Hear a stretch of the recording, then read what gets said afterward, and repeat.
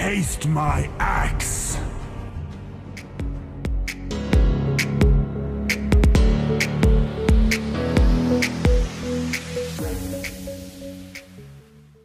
Paano nga ba ang tamang pag-pick ng spell? Ang pagpili ng spell ay nakabase sa hero na gamit mo, hero na gamit ng kakampi mo, o kaya naman hero ng kalaban. Pero para magawa yon, kailangan maintindihan mo lahat ng spell. Pag-uusapan natin ngayon lahat ng spell. Pero bago tayo magsimula, gusto ko munang i-congratulate si ER Pride. Siya ang winner ng ating weekly giveaway. Kung gusto mo ring sumali, ang kailangan nyo lang gawin, i-like ang video na to, mag-subscribe, tapos i-share nyo ang video na to sa kahit anong social media platform.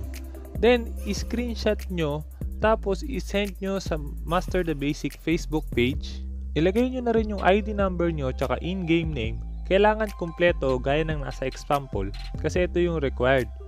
Tapos samahan nyo na rin ng hashtag JustMasterTheBasics. I-announce ko ang winner every weekend. Kaya dapat tapusin mo ang video na to at kung hindi ka pa nakasubscribe, hit mo na yung subscribe pati na rin yung notification bell. Okay, let's go! Simulan muna natin sa execute. Yung spell na to nagde-deal ng true damage sa kalaban.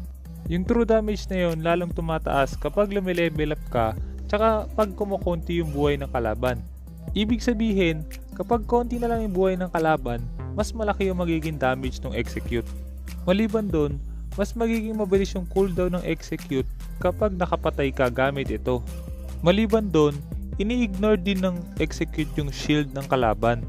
Ibig sabihin, kahit na may shield yung kalaban, sa buhay niya pa rin tatama. Maganda tong spell na to sa mga tank para kahit paano meron silang kill potential. O kaya sa mga hero na kayang mang burst ng kalaban. Para mas mabilis nilang ma-burst, gumagamit sila ng execute. Magandang pang counter din to sa mga hero na umaasa sa shield. Isa na dun si Esmeralda. Sunod na spell natin, ito yung tinatawag na Retribution. Nagdi-deal naman to ng true damage sa mga minions o kaya sa creeps. Lumalaki rin yung damage nito depende sa level mo. Isa pang kinaganda sa item na to, kapag bumili ka ng jungle item, mas lumiliit yung damage ng mga jungle creep sa'yo. Maganda tong spell na to para sa mga hero na malakas mag-farm sa jungle. Maganda rin to sa mga hero na kailangan ng buff. At importante din sa isang team na merong kahit isang may retribution para hindi kayo maagawan ng mga objectives gaya ng buff, crab o kaya naman ng turtle tsaka lord. Para naman mas madali ka makapag-steal ng objective, pwede mong tignan yung damage ng retribution mo basta diinan mo lang to.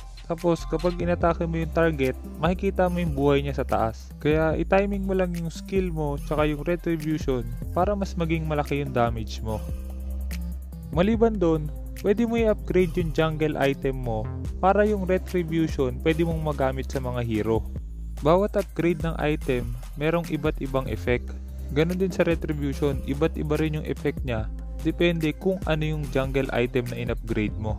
Gagawa ko ng separate video tungkol sa jungle items na yan, kasama na yung jungle respawn time at lahat ng tungkol sa jungle. Kaya kung hindi ka pa nakasubscribe, hit mo muna yung subscribe pati yung notification bell para updated ka tuwing gumagawa ko ng guide. Sunod na spell natin, ito naman yung natawag na Inspire. Pinapabilis naman nito yung attack speed mo, pero para lang sa walong attack. Ibig sabihin, kailangan mong maka 8 attacks in 5 seconds. Kung hindi ka makaka 8 attacks in 5 seconds, mawawala yung effect niya. Ganun din kapag naka 8 attacks ka na kahit wala pang 5 seconds, mawawala pa rin yung effect niya. Maliban doon, ini-ignore din nito yung 8 physical defense ng kalaban. So parang naka physical pen ka na rin. Mas tumataas yon every level. Maliban sa hero, gumagana rin to sa mga tower. Ibig sabihin, mas mabilis ka rin makakapag-push kapag meron kang inspire. Maganda yung spell na to para sa mga hero na umaasa sa basic attack nila. Mas magiging advantage din sa'yo makipagsabayan sa kalaban. Pero kung yung hero mo ay madaling mamatay at walang pantakas, mas magandang wag mong piliin yung inspire. Sunod na spell natin, ito yung tinatawag na sprint. Kapag ginamit mo yung spell na to, mabibigyan ka ng 40% movement speed for 8 seconds. Pero after 2 seconds pa lang, unti-unti nang babawas yung movement speed na yon. Maliban doon, ini-ignore din nito yung mga slow. Pero bago mo dapat pindutin yung sprint, na slow ka na muna ng kalaban para ma-ignore yung slow nila. Kasi hindi ka lang tatabla ng slow dun sa first 2 seconds pag pindot mo ng sprint. Maganda tong spell na to para sa mga hero na walang pantakas o kaya naman pwede mo rin siyang gamitin pang in para mas madali mong mahabol yung kalaban. Sunod na spell natin, ito yung tinatawag na Revitalize. Kapag ginamit mo yung spell na to, magkakaroon kayo ng Healing Spring. Lahat ng nasa loob ng Healing Spring, magkakaroon ng regen. 2.8% ng max HP every 0.5 seconds. Ibig sabihin, kung 5 seconds kang nasa loob, mabibigyan ka ng 28% HP. Maliban doon, mas tumataas yung healing effect tsaka shield effects na bigay sa'yo kapag nasa loob ka ng healing spring. Ibig sabihin, maganda yung spell na to para sa mga hero na nagbibigay ng buhay sa kakampi. Pati na rin sa mga hero na umaasa sa regen effects o kaya sa shield nila. Malaking advantage din to sa team fight para hindi agad kayo mamatay. Sunod na spell natin, ito yung tinatawag na Aegis. Kapag ginamit mo naman yung spell na to, mabibigyan ka ng shield. Mas mataas yung level mo, mas malaki yung shield na ibibigay. Tumatagal lang 3 seconds yung shield na yon. Maliban doon, pwede mo ring gamitin to para bigyan ng shield yung kakampi mo. Kung sino yung pinakakonting buhay na hero na malapit sa'yo, siya yung mabibigyan ng shield. Pero kalahati lang ibibigay sa kanya. Pero malaking tulong pa rin yun para iligtas yung kakampi mo. Maganda yung spell na to pangontra sa mga hero na malakas mang burst para hindi ka agad ma-burst ng kalaban. Sunod na spell natin, ito yung tinatawag na Petrify. Pag ginamit mo naman yung spell na to, 0.7 seconds mo mapapahinto yung kalaban. Maganda tong gamitin pang cancel ang mga skill ng kalaban. Hindi lang sa isang hero, kahit sa maraming hero, pwede mong gamitin to, may instant sila ng 0.7 seconds.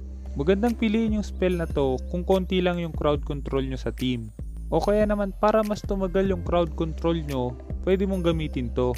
Pagkatapos mong gamitin yung crowd control mo na skill, gamitin mo yung Petrify para mas humaba yung stun.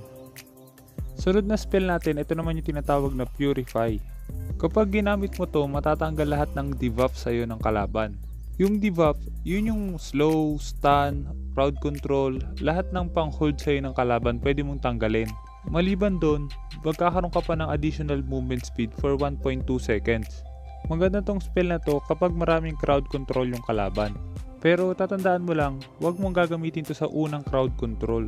Hanggat maaari, sa huling crowd control mo siya gamitin para makatakas ka. Sunod na spell natin, ito naman yung tinatawag na Flame Shot. Kapag ginamit mo naman to, magbabato ng flame shot sa isang direksyon. Yung damage ng flame shot, base kung gaano kalayo yung kalaban. Kapag mas malayo yung kalaban, mas malaki yung damage. Isa pang nagpapalaki ng damage ng flame shot is yung magic power. Kapag malaki yung magic power mo, mas malaki yung damage niya. Kung gagamitin mo naman to sa malapitan, mananakback mo yung kalaban. Meron din tong slow. 30% kapag malayo at 60% yung slow kapag malapitan. Pero 1 second lang yung slow na yon. Maliban doon, hindi lang isang tinatamaan ng knockback. Kung magkakadikit yung kalaban, lahat sila mananakback. Pero dapat magkalapit sila or malapit ka talaga sa kanila. Kasi kapag medyo malayo ka na, hindi na sila mananakback. Maliban doon, isa lang ang damage kapag malayo. At dahil nga mage nagbabase yung damage, Maganda yung spell na to para sa mga mage hero. Pero tingin ko hindi lahat ng mage kailangan nito. Kasi kung mage ka, kadalasan kailangan mo ng buff. So either magre-retribution ka at kung mage ka naman na walang pantakas, kailangan mo pumili ng spell na makakapagligtas sa'yo. Possible na maligtas ka nung knockback. Pero dahil nga 1 second lang yung slow, tingin ko mas marami pa rin mas magandang pantakas na spell. Sunod na spell natin, ito naman yung tinatawag na flicker. Pag ginamit mo to, magte-teleport ka sa isang location. Magkakaroon ka rin ng physical tsaka magic defense for 1 second.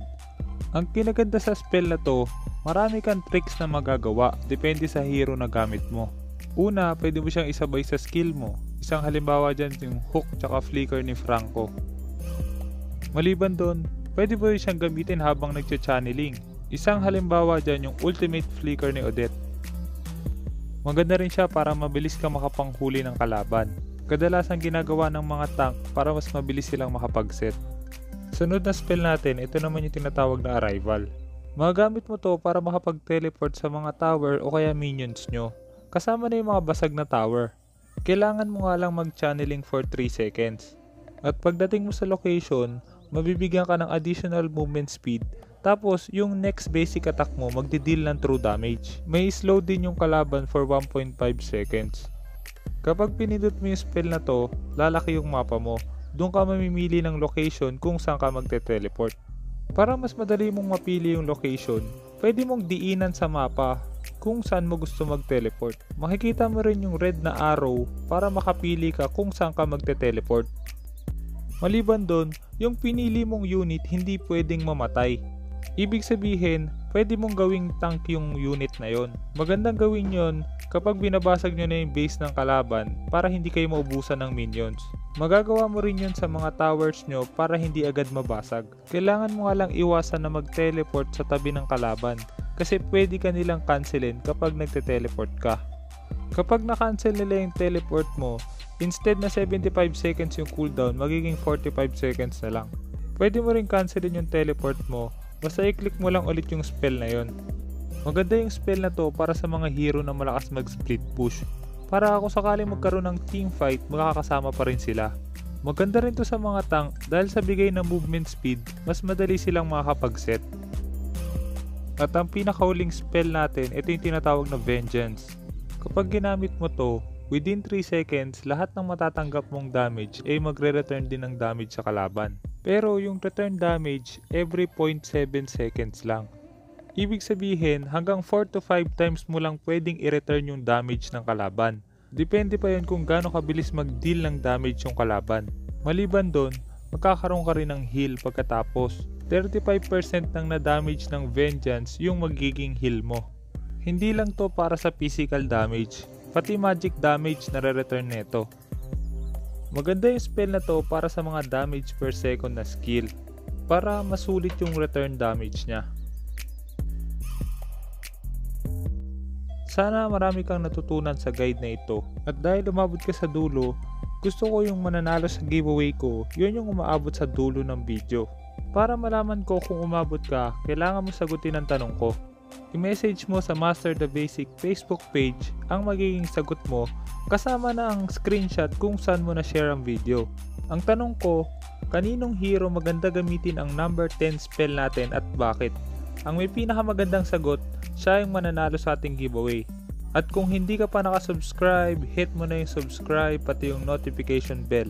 Basta lagi mo lang tatandaan, kung gusto mo mag-improve, just master the basics. I'm out.